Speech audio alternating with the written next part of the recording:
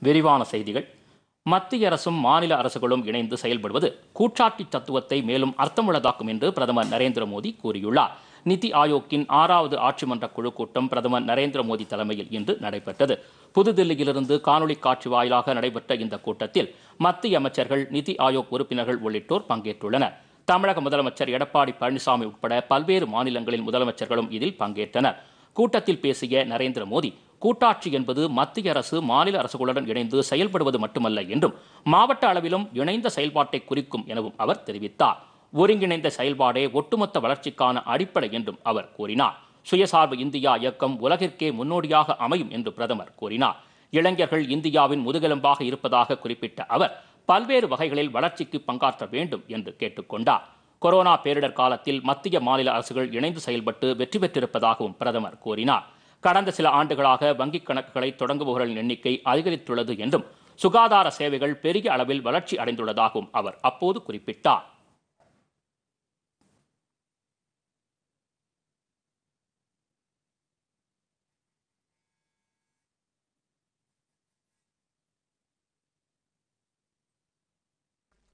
हमने कोरोना कालखंड में देखा है कि कैसे अब राज्य और केंद्र सरकार ने मिलकर काम किया,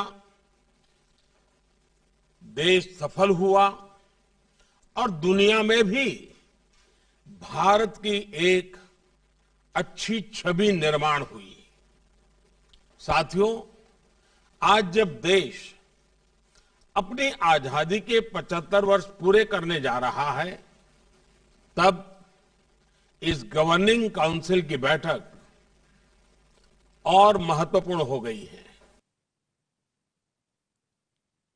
எரிவாயு இணைப்பு மின் இணைப்பு உள்ளிட்டவை அதிகரித்துள்ளதாகவும் ஏழை எளிய மக்களின் வாழ்வில் நல்ல மாற்றம் ஏற்பட்டுள்ளதாகவும் பிரதமர் தெரிவித்தார் நாட்டின் வளர்ச்சிக்கு தனியார் நிறுவனங்களின் பங்களிப்பு மிகவும் அவசியம் என்று பிரதமர் குறிப்பிட்டார் தொழில்துறை உற்பத்தியை அதிகரிக்க உற்பத்தி சார்ந்த ஊக்குவிப்பு திட்டத்தை மத்திய அரசு அறிமுகம் செய்துள்ளதாக பிரதமர் தெரிவித்தார் நாட்டில் தொழில்துறை மேம்பாட்டிற்கு இது முக்கிய பங்காற்றும் என்றும் பிரதமர் நரேந்திர மோடி கூறினார் மாநில அரசுகளும் இதில் முக்கிய பங்கு வகித்து அதிக முதலீடுகளை ஈர்க்கும் வகையில் செயலாற்ற வேண்டும் என்று பிரதமர் கேட்டுக்கொண்டார் आत्मनिर्भर भारत एक ऐसे नए भारत की तरफ कदम है जहां हर व्यक्ति हर संस्था हर उद्यम को अपनी पूरी क्षमताओं से आगे बढ़ने का अवसर मिले साथियों आत्मनिर्भर भारत अभियान एक ऐसे भारत का निर्माण का मार्ग है जो न केवल अपनी आवश्यकताओं के लिए बल्कि